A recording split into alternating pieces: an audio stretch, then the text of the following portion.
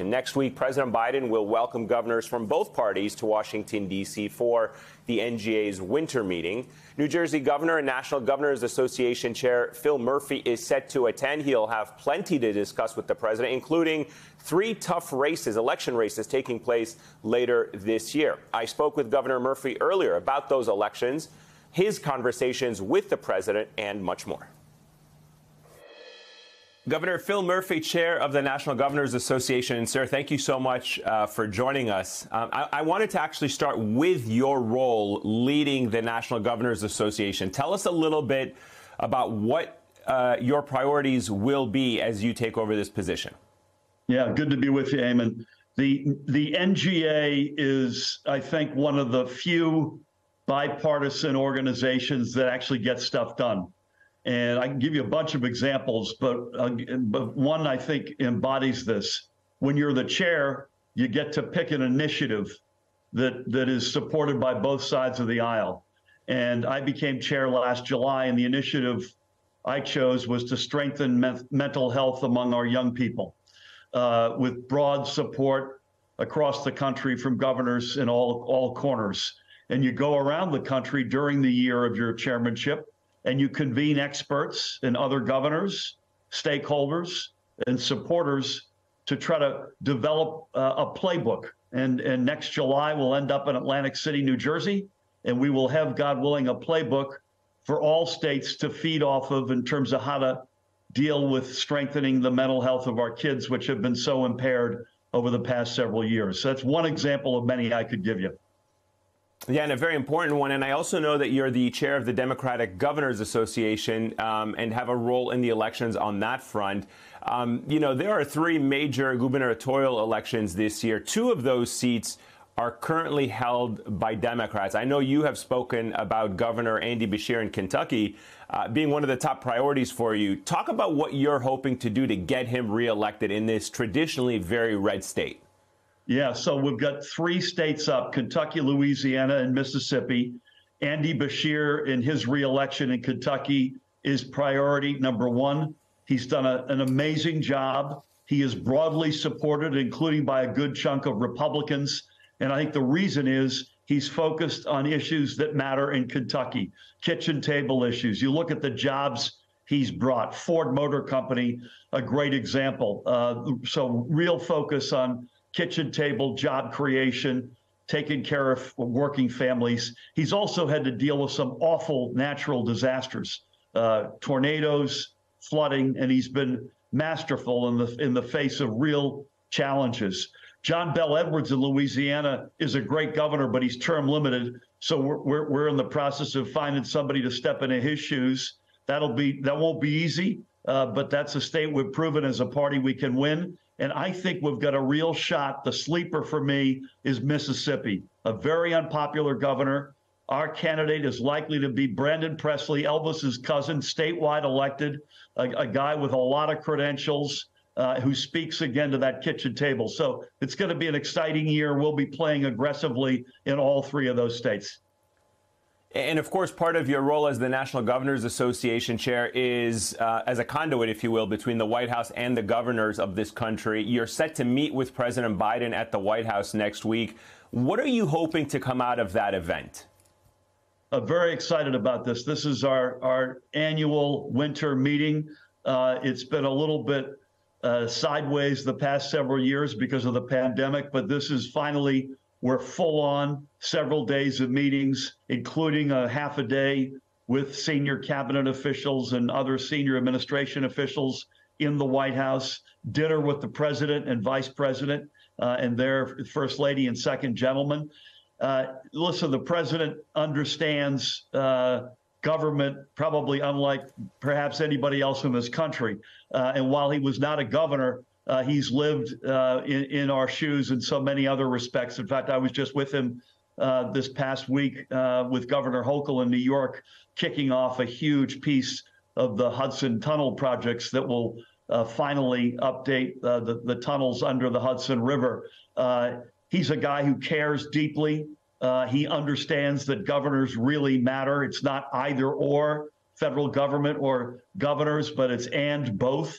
He's been an incredible partner, and as his administration over the past couple of years, so much of what has gone through Congress that he's signed eh, has huge positive impact on states. So it's going to be a chance, I think, to both acknowledge, celebrate on the one hand, but also acknowledge we have a lot more work to do as a right. country and as governors.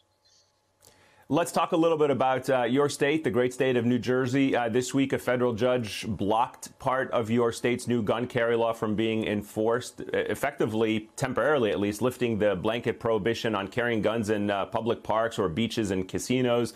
Give me a reaction to that. Is your administration prepared to fight this ruling? Very much so. My reaction would be not happy, but not surprised uh, we respect the judiciary. We don't agree with the conclusion, uh, and we will fight it. I promise you.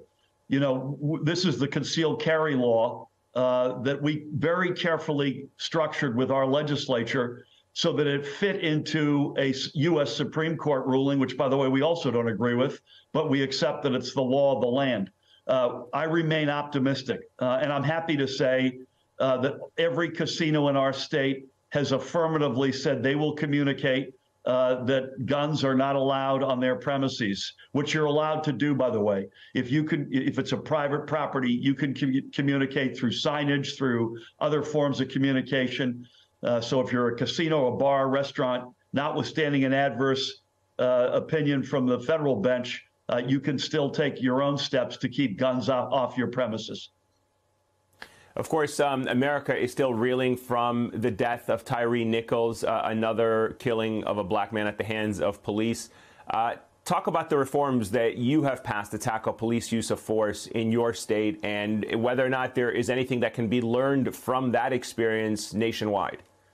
Yeah, I mean, we've done a lot, and, and I've said a lot since this awful, ugly tragedy. Tyree Nichols should be alive and well as we as we speak here um, that at every tragic uh, uh, moment like this, we've looked in the mirror and asked ourselves, can we learn? Can we be better?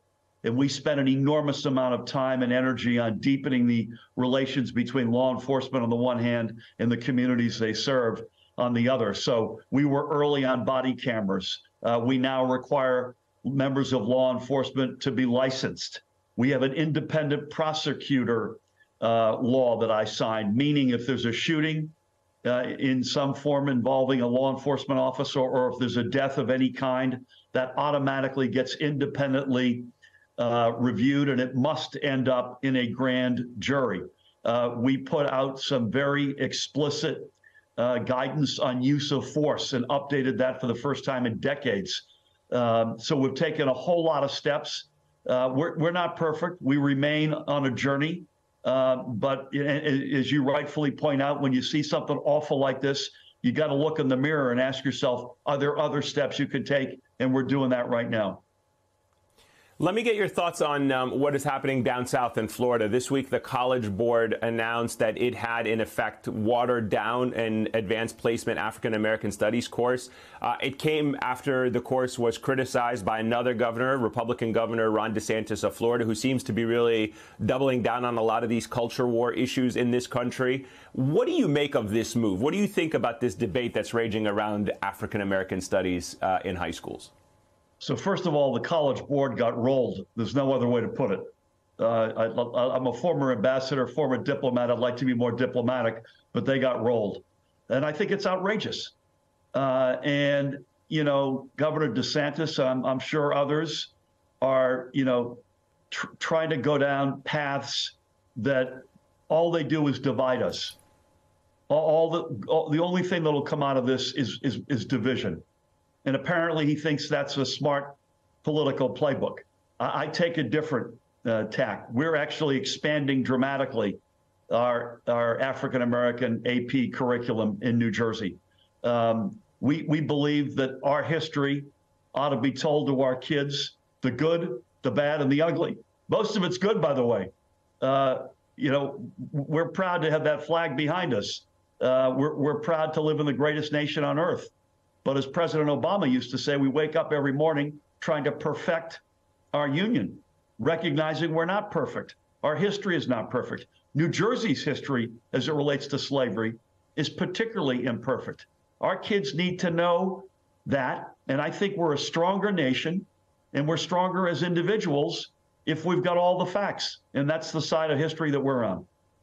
Yeah, I couldn't agree with you more. The more we know, the better we will be as a country. Let me stay on the education front for a moment because you recently signed into law uh, a bill requiring public schools in New Jersey to teach media literacy to uh, K through 12 students.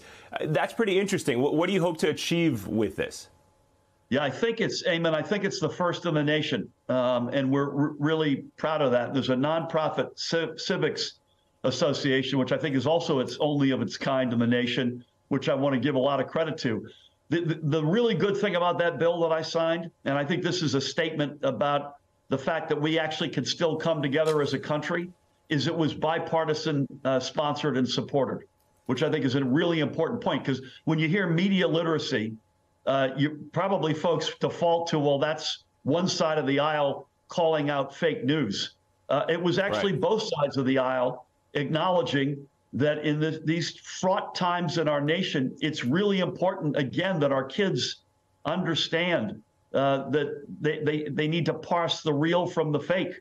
And they need to understand uh, that, you know, this is the information coming at them.